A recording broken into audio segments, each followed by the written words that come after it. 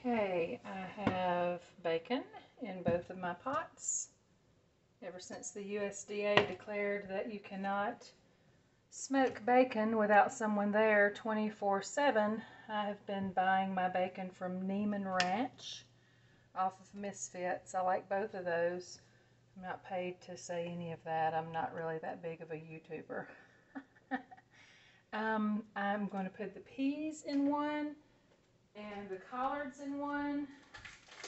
And I'm going to start my pork roast in my little crock pot that I have had for 30 years in May. It was given to me by a fifth grade Sunday school teacher in the church that I went to. Um, her name was Miss Howell, and she was a devoted devoted teacher and always had 100% attendance on high attendance Sunday. Usually had 100% attendance all the time because if you were not there, she was going to call you. So I'm going to put the peas in. They're a little bit frozen. Um, they've got some bacon in there and I'm going to add some salt. Normally I have pink Himalayan sea salt grinder, but I dropped it in the water. So I don't have that. I'm going to add some salt. I'm going to add a little pepper. Oh no! That's way too much pepper. How did that happen? Pause. Okay, I spooned the pepper that I could back into the pot. I am going to take those peas out and give them a good rinse. These are the collards straight from my garden. I'm going to put some water in those, salt and pepper also. Hey, I know where I can get some pepper. Idiot. Things happen, right? This is real life. So sick of people showing just their wins. We all need a few fails under our belt too. Now I can use my colander to rinse those peas off. Okay. So the peas have plenty of pepper. Let's put a little more salt in after I rinse them. Let's get some salt in the collards.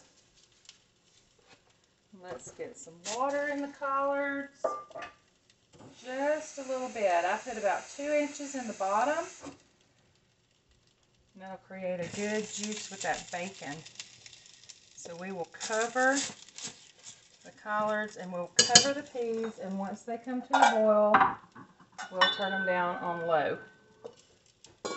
This is one of my first cooking videos ever, so be gracious. I'm just trying, trying to something new. Okay, this is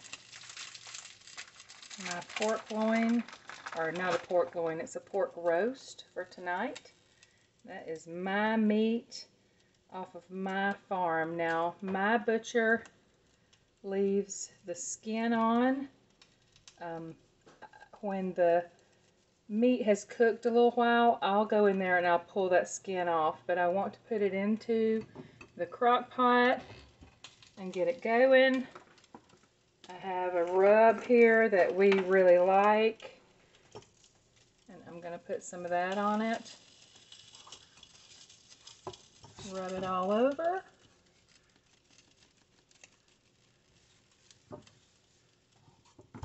Make sure to get the other side as well.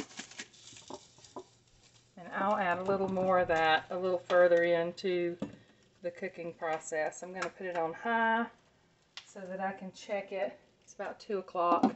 Should be finished about 6 o'clock.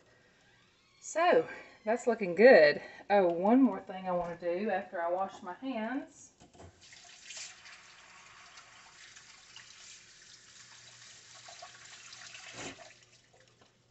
Is to add a little bit of home rendered lard to each pot. You say lard, oh my goodness. Do a little research on lard that is raised in the forest instead of in confinement, you'll find that it's the fourth largest source of vitamin D. It's full of omega 3s and it's full of the good kinds of fats and cholesterols that keep your um, arteries clean. All you gotta do is Google it. Like, share, subscribe. Hope you're trying something new on this New Year's Day.